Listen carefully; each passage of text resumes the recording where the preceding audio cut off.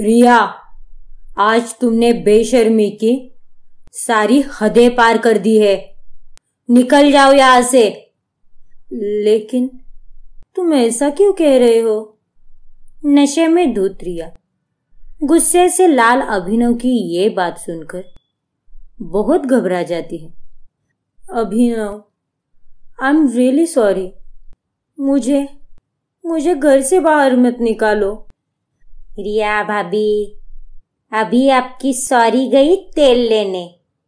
इतना बड़ा रायता फैलाने के बाद आप चाहती हो कि हम सब आपको माफ़ कर दे? जो जेठ जी कह रहे हैं, चुपचाप पई करो, लिपस्टिक लगा के। हाँ। तुमने सुना नहीं? निकलो यहाँ से।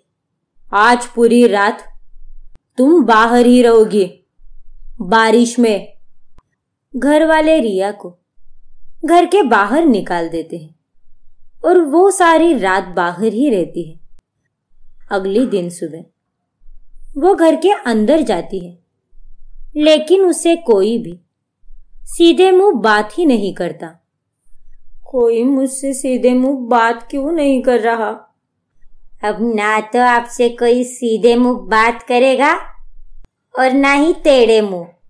क्योंकि आपने कांडी ऐसे किया है कि अब आपकी इस घर में कोई डिमांड नहीं बची।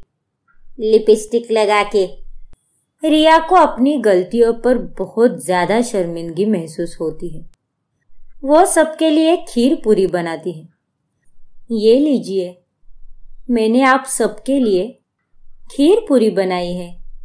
बड़े प्यार से बनाई है। प्लीज़ खा लीजिए। माँ जी टेस्ट करके बताइए ना। धीरे धीरे से ही सही लेकिन मैं हर तरह की डिशेज बनाना सीख रही हूँ। हमें तुम्हारे गंदे और मेले हाथों का खाना खाने में कोई दिलचस्पी नहीं है। इसीलिए ये जो भी तुमने बनाया है, इसे अभी के अभी हमारी नज़रों से दूर कर दो। लेकिन माँ जी रिया माधुरी ने जो कहा है वो करो। हमने तुम्हें इस घर में अभी तक रखा है। उसी बात का एहसान मानो। समझी तुम? ठीक है पापा जी रिया रसोई में जाकर खूब रोती है। वो अपनी माँ के पास जाकर उसे सारी हकीकत बता देती है। तभी कुसुमलता और विनोद उसे गुस्से से कहते हैं। अब पछताए होत क्या? जब चिड़िया चूक गई खेत। विनोद जी एकदम सही कह रहे हैं। हमने तो तुझे पहले ही कहा था कि उस बेचारी की ज़िंदगी और उसके परिवार का नाम खराब मत कर। लेकिन नहीं, तूने हमारी नहीं सुनी और चली गई मुँह उठाकर। मुझे कुछ समझ में नहीं आ रहा कि मैं क्या करूँ और क्या नहीं। ये ले पैसे। ये पैसे? लेकिन आप मुझे ये पैसे क्यों दे रहे हो, पापा? जा, कोई अच्छी सी शराब पी ले और वापस तमाशा कर। तू उसी लायक है। रिया को और भी शर्मिंदगी महसूस होती है। दो दिन बाद। जब अभिनव का जन्मदिन होता है, तभी घर पर मेहमान आते हैं।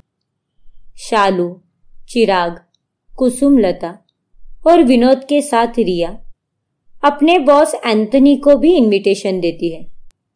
लेकिन पार्टी में कुछ ऐसा हो जाता है, जिससे रिया को 440 वोल्ट का झटका लगता है। रिया की सास माधुरी और उसकी देवरानी नूपुर। दोनों शराब पीकर सबके सामने आते हैं। Hello, welcome back, Amar Akbar वाले एंथनी चाचा। अरे, आपके गाल तो मेरे लिपस्टिक से भी लाल है एंथनी चाचा। ओ नो, ये माजी और नूपुर ने तो बहुत सारी शराब पी रखी है। अब मैं क्या करूँ? इन्हें कैसे रोकूं? दिखता न दिखता न दिखता न, दिख दिक तन दिक तन दिक तन मेरा नाम माधुर्य दिक्तन दिक्तन दिक्तन रोशना खबर है। एंटनी का असर है। तुमसे मिलने के बाद दिल भर दिलबर। दिलबर दिलबर। ओ एंथनी एंथनी नुपुर ये सब क्या है? Riya what rubbish is this अबे अमर अकबर के एंथनी लूट लूँगी मैं तेरी सारी मनी और हो जाऊँगी तुझसे भी ज़्यादा धनी। ही ही ही। इसी बात पे बोलो अपना सपना मनी मनी। अपना सपना मनी मनी। माधुरी और नुपुर के इस तमाशे से रिया का बॉस एंथनी बहुत गुस्सा हो जाता है। Riya this is very disrespectful मैं तुम्हें अभी के अभी फायर करता हूँ। क्या कहा? फायर कहा है आग? कहीं तेरे पिछवाड़े को तो नहीं लगी है ना? अरे रुक तो जा, चपड़गंजू। एंथनी बहुत ज़्यादा गुस्सा हो जाता है और वह वहाँ से चला जाता है। माँ जी, नुपुर। अरे, सास और देवरानी के नाम पर आप दोनों कलंक हो कलंक। अरे, तू भी बहू होने पर कोई काजल नहीं है। तू भी बहू के नाम पर कलंक है कलंक। याद है ना कैसे हमारी इज़्ज़त की धजिया उड़ाई थी तूने उस मेहमानों के सामने। सबकी बातें सुनकर और अपनी गलतियों का एहसास होने के बाद रिया पूरी तरह टूट जाती है। इसीलिए वो रोते रोते ब्रिज पर अपनी जान देने जाती है। मेरे जीने का कोई वजूद नहीं रहा है अभी। मुझे यहाँ से जाना होगा। ये दुनिया मेरे लिए नहीं है।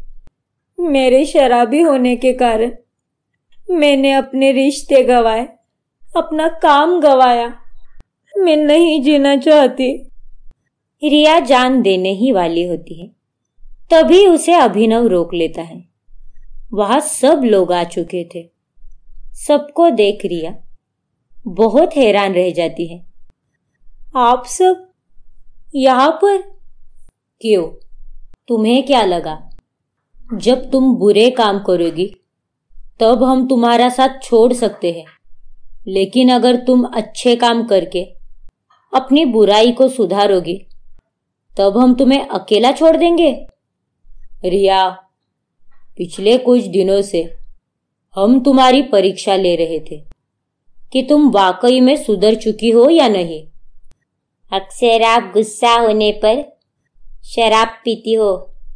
लेकिन पिछले एक हफ़्ते से इतना सब कुछ होने के बावजूद भी आपने शराब की तरफ़ देखा तक नहीं। आप सच में सुधर चुकी हो भाभी। तुम एक बहुत ही टैलेंटेड फ़ैशन डिज़ाइनर हो रिया।